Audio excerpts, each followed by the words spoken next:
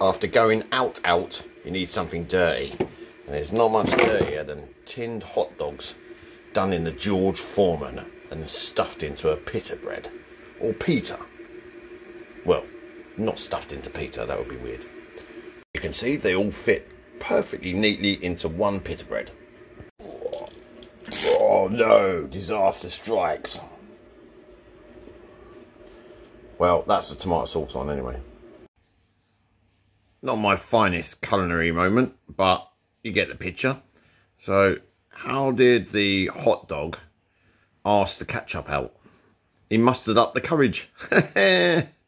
Going in.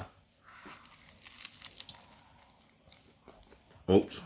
One's out already, one's down. The others are trying to escape. It's like a scene from Sausage Party. Mmm.